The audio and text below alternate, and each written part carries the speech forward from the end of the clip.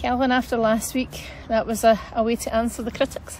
Yeah, it was a really good performance all round. Um, the gaffer asked for a reaction, basically, and that's what we had to do. We started the game early, and this league it shows that if you get the first goal, it gives you a, a real boost, and to get the second one before half time gives us a bit of confidence, and then the second half to get the early goal.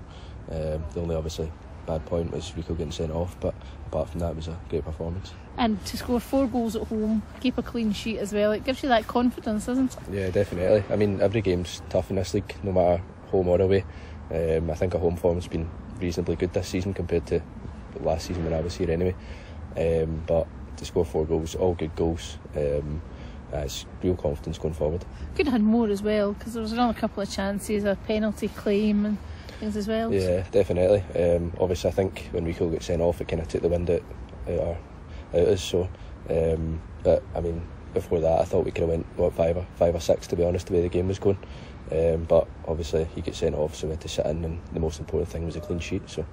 Things boiled over at that point, didn't they? Uh, it went, I, I don't usually get involved in that kind of thing, but I think Rico felt he got an elbow or a, a proper slap across the face, so um, he reacted, and because he was on a yellow card, it kind of I think he wouldn't have got sent off if he wasn't on a yellow card. So, but he'll learn from that. He knows he's just just a bit of redness, so that's all.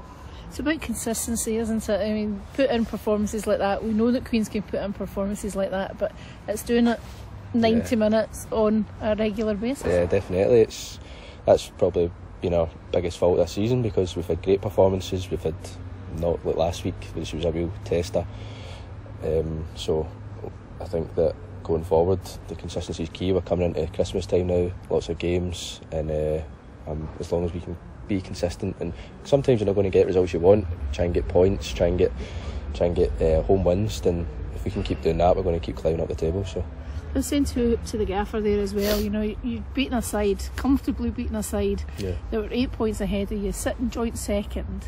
So, you know, that's Yeah. five points. You've cut that gap to five points with more than half the season to go. Yeah. Um, look, everyone can beat everyone in this league. It's, it's showing. It's you get beat five one one week and then you go and win four 0 the next week. So it's it's chaotic. But um, as long as we can concentrate on ourselves, try and become more consistent, and I I believe in the group that we'll go and we can go as far as we can. To be honest, it's, it's up to us. It's not up to anyone else.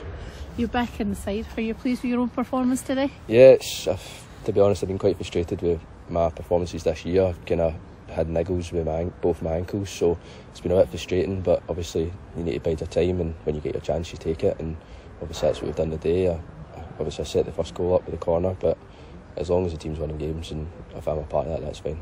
It was great goals today, weren't they? Yeah. Great deliveries from yourself, from Lewis, and then Yeah.